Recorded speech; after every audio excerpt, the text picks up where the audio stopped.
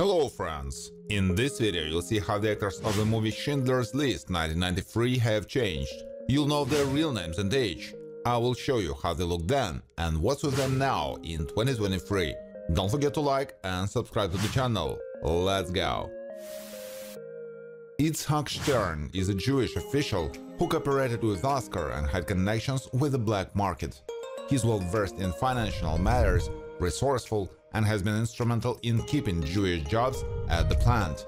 The role is performed by Ben Kingsley. Amon Goeth was in charge in the Płaszów camp where Jews were held. He is an extremely sadistic man who would shoot people for the slightest offense or just because he wanted to.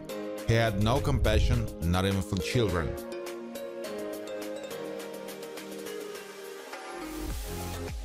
Emilie Schindler, Caroline Goodall, is married to Oskar, with whom she was in Krakow during the massacres of Jews. She has a trusting relationship with her husband. She's a friendly and quite compassionate woman who also has a good intellect. Wears neat earrings.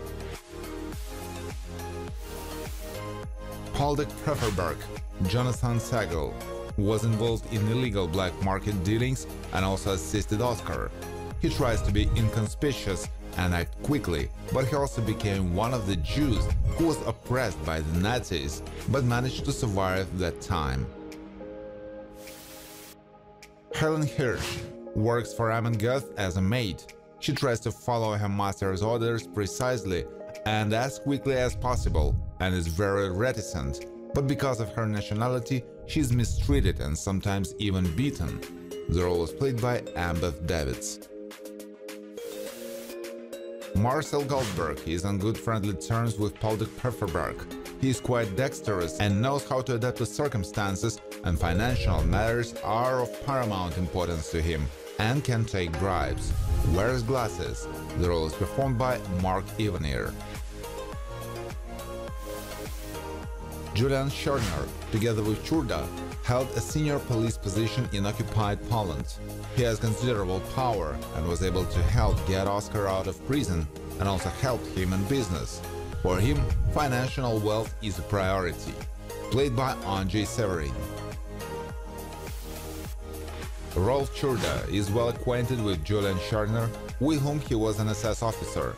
He is a rather selfish person who tries to extract personal benefit from everything, likes to be in the company of beautiful women.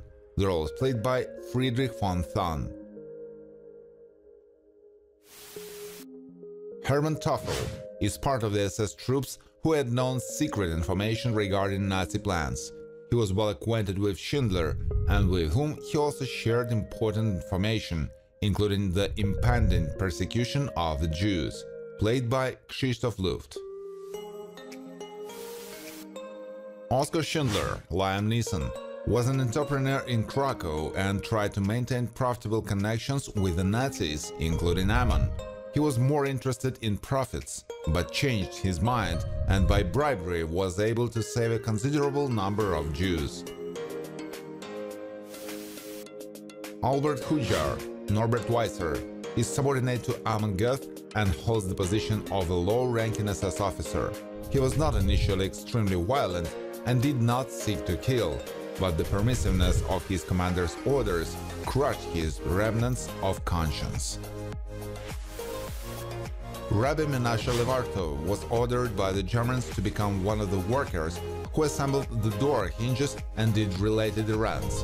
He is quite fast at assembling parts, knows how to be grateful, and he miraculously managed to stay alive.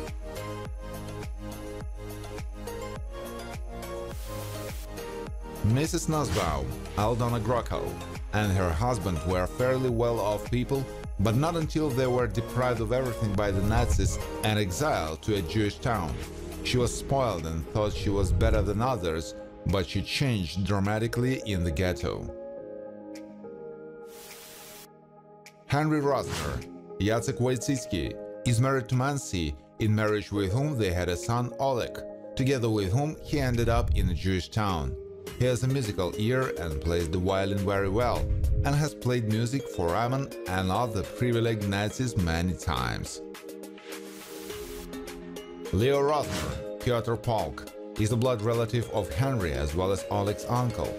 He and his relatives worked in Oskar's company, which is what kept them alive. He and his brother often play music, including at Nazi celebrations. He is able to play the accordion well. Investor was a rather wealthy man of Jewish nationality. He was well acquainted with Itzhak Stern, who later convinced him to make a significant financial contribution to the Schindler enterprise. He wears a ring on his right hand, laid by Leopold Kozlowski. Red Genia, Oliwia Dąbrowska, was one of the Jewish children who was in Krakow and came under Nazi oppression. She, like everyone else, was afraid of what was happening and, as best she could, tried to hide from the soldiers and not hear what was happening. Diana Reiter, Elina Löwensohn, was one of the many Jewish women who were held in designated barracks. She's a clever girl with an engineering degree who tried to convince Amon that the barracks was unreliable, but she paid for her righteousness with her life. Majola had an affair with Amon Goeth and witnessed some of the atrocities he committed against the Jews without even leaving his apartment. She can talk to him quite openly and tends to be curious about him. Smoked cigarettes. She was played by Gina Lechner. Josef Liepold was a commander who was sent to supervise the military factory in Brünnlitz like many others, he supported the Nazi regime and he didn't like the rules laid down by Oskar, for the observance of which he was bribed by him, played by Ludger Pistor. Nilsa Horowitz, Magdalena Dandourian, is one of the rescued Jewish women who worked at the Schindler's factory. She spoke on behalf to all the workers, expressing congratulatory words to Oskar, with whom she then received a kiss. She has delicate features. SS Sergeant Kunder Grzegorz Damiecki. Like many other employees, he obeyed the instructions of high German commanders. One of his duties was to supervise the boarding of Jews on the train to the camps, as well as resolving problems that arose during their boarding. Danka Dresner, like her family, escaped death by the Nazis by working for Oskar. She's quite a clever girl who also helped some children to escape in the toilet from their forced removal to the camps. She wears round-rimmed glasses, played by Anna Mucha. Nightclub Maitred is always at the entrance of the establishment. He is quite observant and somewhat curious, able to be extremely courteous and polite, and prone to taking bribes from guests, played by Branko Lustig, who died of heart failure in 2019. Thank you for watching. If you like this video, please share it on social networks, like it, and of course subscribe to the channel.